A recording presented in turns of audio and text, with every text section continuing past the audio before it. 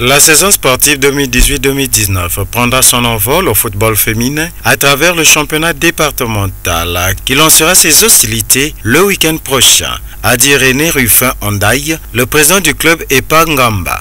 Le football féminin euh, existe, existe bel et bien.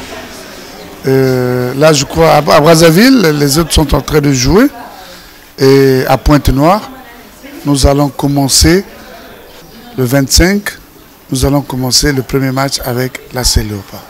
Ça tardait, euh, nous étions déjà même fatigués parce que ça fait au moins cinq mois que nous avons commencé avec les entraînements. À notre niveau, c'est bon, nous sommes là, on est prêts à, à, jouer. Ça fait euh, euh, la deuxième saison que Pangamba existe. La première saison, vous, avez vu les exploits que nous avons faits.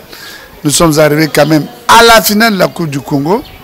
Et puis, nous, sommes sortis deuxième, bien sûr.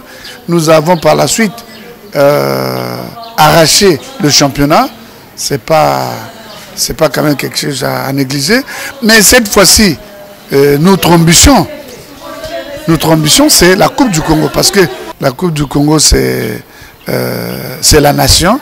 Donc nous voulons aussi faire notre fierté au niveau de la nation et non au niveau, de, au niveau juste du championnat. Mais notre ambition aujourd'hui, c'est comme l'ambition de tout dirigeant, de tout club, de tout, tout, euh, joueur ou toute joueuse, c'est le championnat et, la Coupe nationale. L'appel au public et par la suite, il s'est adressé à l'instance dirigeante du football congolais. Nous invitons les, les mélomanes à venir euh, nombreux suivre l'ouverture et pourquoi pas et tous les matchs qui vont se dérouler euh, au niveau de, du stade euh, de, Pointe-Noire, bien sûr. La fédération et de la, de la Ligue, je leur demande de nous appuyer parce que apparemment, le football féminin semble être un peu négligé. Mais nous, les dirigeants, nous on fait des efforts nous faisons des dépenses énormes pour, euh, pour faire vivre le football féminin. Mais si nous sommes dessus par, je ne dis pas qu'ils nous, nous déçoivent, non. Ils font, ils, aussi. Mais je leur demande de faire plus pour que euh, le football féminin aille de l'avant.